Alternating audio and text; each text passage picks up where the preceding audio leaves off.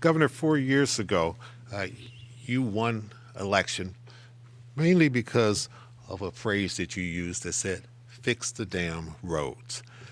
We know that there's construction going on because everywhere we go, we see orange barrels. My question is, are we building better roads or are we just putting band-aids on a cancerous infrastructure?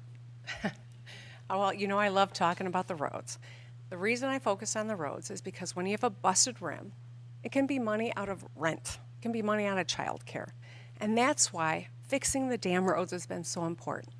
Let's be clear we are addressing decades of disinvestment.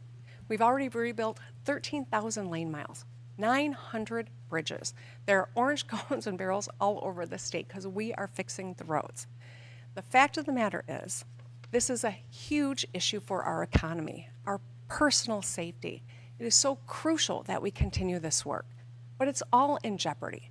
As we think about what's Michigan going to look like four, eight, 12 years down the road, we have to have solid infrastructure. But with plans to cut $12 billion out of the general fund and no plan to replace it, that will set us back in terms of rebuilding infrastructure back to decades of disinvestment. It'll mean money out of public safety and out of our kids' education. We can't afford to have that kind of leadership. Governor, really very quick follow-up. Yes or no? Are we using better materials? We are. We're using the right mix and materials. And as you can see, when you're driving by, we're taking the roads all the way down to gravel and rebuilding them. They're built to last. It's not just papering over like unfortunately has been done for years in the state prior to me taking office. All right. Mrs. Dixon, if elected the next governor of this state, will you continue what we see going on with the construction of our roads, or will you change the process in any way, shape, or form? We will work to make sure that there actually is a plan for the roads. She stood on the debate stage four years ago and said she had a plan, but let's remember there was no plan. The plan was to raise the gas tax by 45 cents a gallon, and you would be paying $5 a gallon for gas right now. That obviously didn't work. And then when she was given road funding by the legislature because she didn't get her gas tax increase, she vetoed it. She had a lot of vetoes at that time, also vetoed autism funding for families. This was a tantrum because she didn't get her road funding.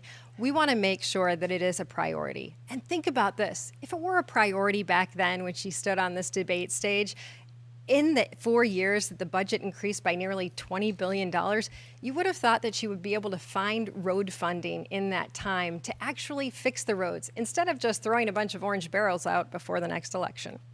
Governor, your rebuttal. So listen, I'm not even going to respond to all of that. I'm going to tell you this. We are going to continue to fix the fix the damn roads, rebuilding this state.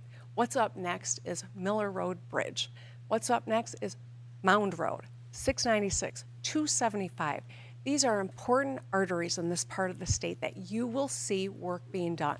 We need to continue this. It doesn't end. Unfortunately, we have to continue to rebuild infrastructure, but we're making headway and we got to put our foot on the gas. Ms. Dixon. People are wondering when the road from their house to work will be fixed. When will that be a priority? Because it's absolutely true that a broken rim is devastating. I know because I had one this year. In fact, I've had five flat tires on these roads. They are a total disaster and they're costing the people of Michigan $5,000 a year in road repairs. So if this is how she fixes the roads, well, I guess we can look back at her other promises too. What were they? Transparency, clean water, fixing the roads? Failures.